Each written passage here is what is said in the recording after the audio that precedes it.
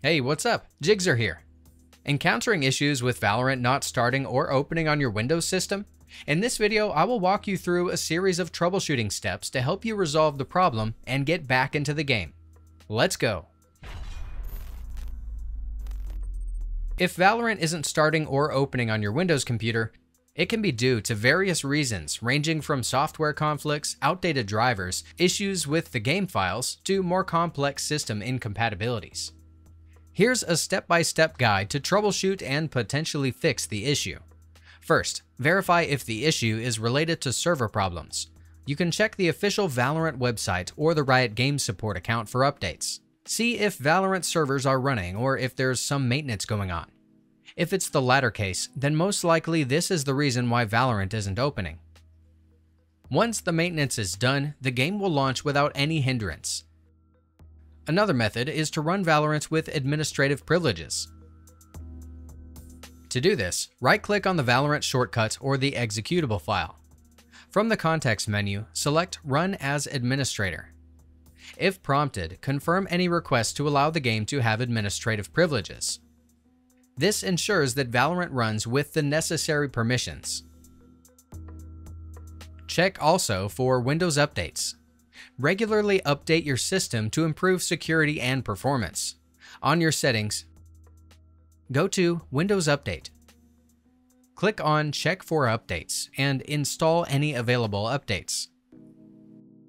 The next method is to update your graphics card drivers either through the Windows Device Manager or by downloading the latest drivers directly from the manufacturer's website. Tap on Display Adapters, Update Driver, and search automatically.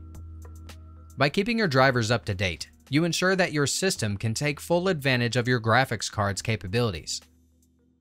Close the background applications, especially those that use the internet or overlay features, can interfere with Valorant. Use the Task Manager to close unnecessary applications by pressing Ctrl plus Shift plus Escape. Then right-click the application you want to end its task.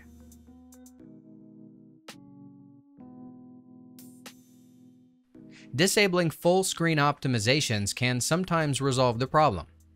Full screen optimization is a feature introduced to improve gaming performance and reduce input lag by optimizing how applications run in full screen mode. However, it can sometimes cause compatibility issues with certain games or applications. To disable it, right-click on the Valorant executable or shortcut and select Properties. Go to the Compatibility tab. Check Disable Full Screen Optimizations, then click Apply and OK. You can also use the Riot client to repair Valorant's game files. To do this, open the Riot client. Navigate to Valorant and click on the profile icon, then tap on Settings. Select Repair and wait for the process to complete. Uninstalling and then reinstalling both Valorant and its anti-cheat software, Riot Vanguard, can resolve issues caused by corrupt installations.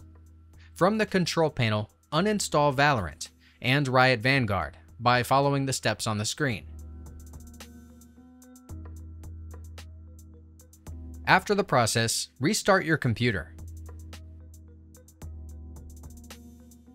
Download the latest version of Valorant from the official website playvalorant.com. Tap Play Free, download, and then install it. If none of the above solutions work, contact Riot Games support for further assistance. Be ready to provide them with details about your issue, system specifications, and any error messages you've encountered. Remember, troubleshooting software issues can be a process of elimination, so it might take several steps to find the solution. That's it. If I could help you, feel free to give this video a thumbs up and don't forget to subscribe. Leave a comment down below if you have any questions. See you next time. Bye.